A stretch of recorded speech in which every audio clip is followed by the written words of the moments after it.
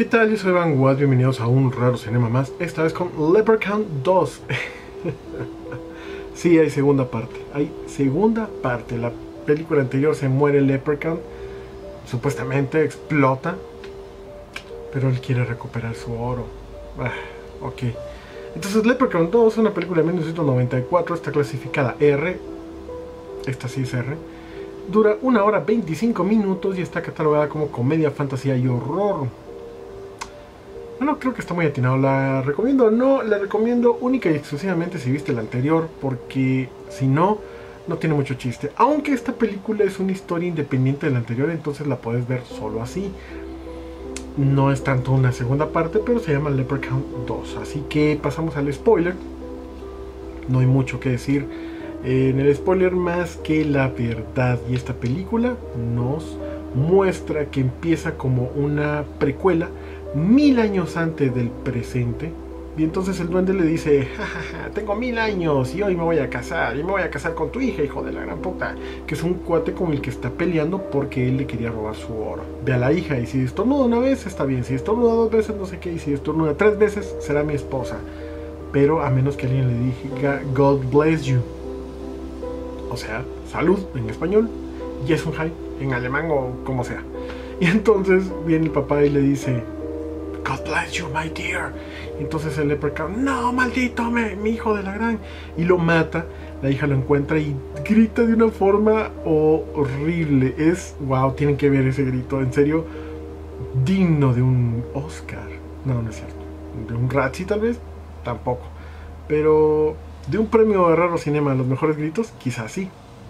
Bueno, entonces esta película continúa con el presente ya pasaron otros mil años, entonces este Leprechaun tiene dos mil años de antigüedad, es decir, en la película anterior nos dijo que tenía 600 años y ahora tiene 2000 años.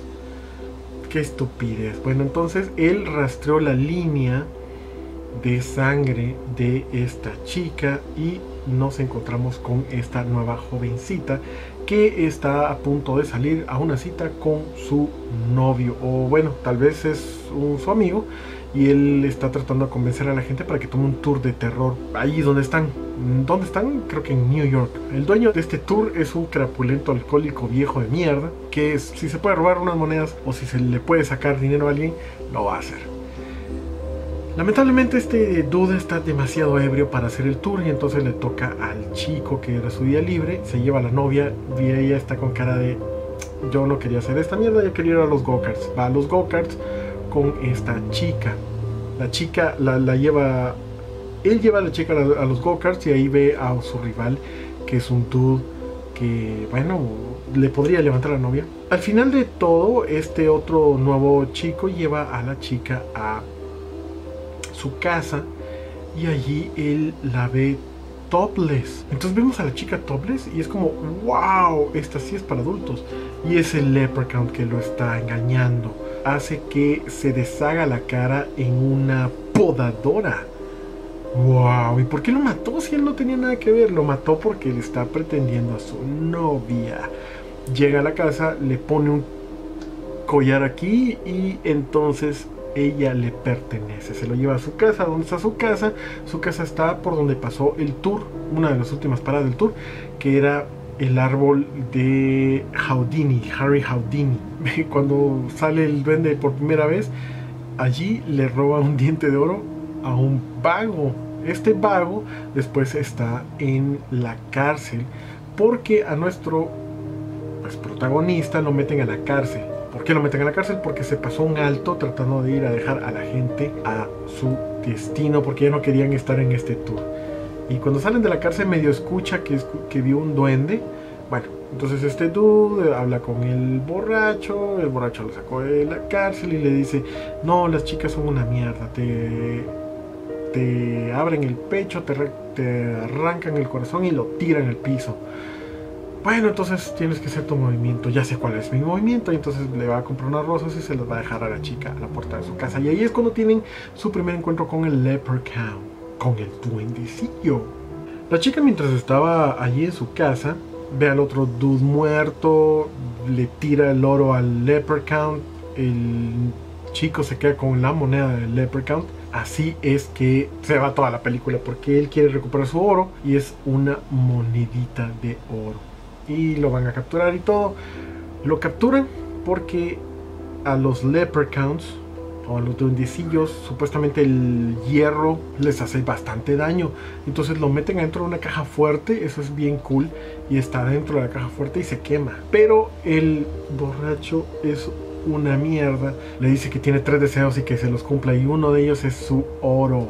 Y entonces hace que el oro le aparezca en la panza. Cuando saca el Leprechaun de la caja fuerte, le deshace la panza y lo mata porque adentro estaba su oro. Y este borracho había metido en una bodega al chico entonces ah, eso cae mal.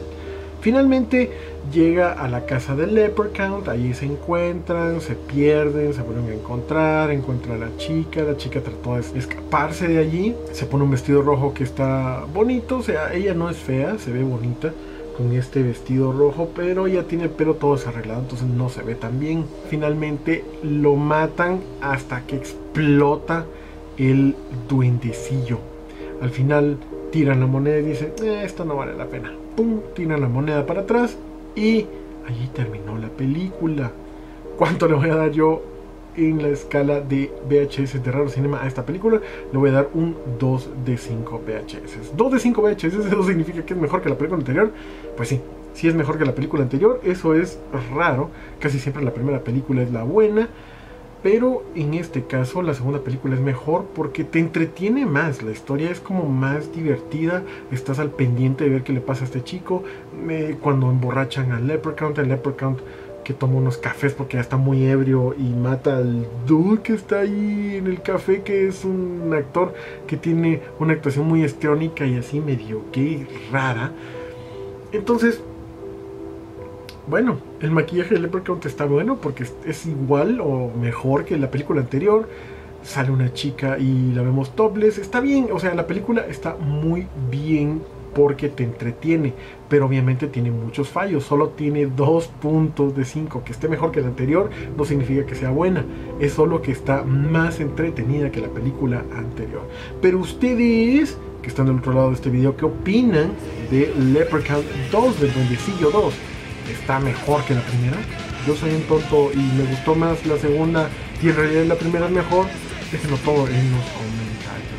Y gracias a todos los suscriptores de Raro Cinema, seguimos creciendo y eso me gusta mucho. No olviden darle like a este video si les gustó y yo los veo en el próximo Raro Cinema.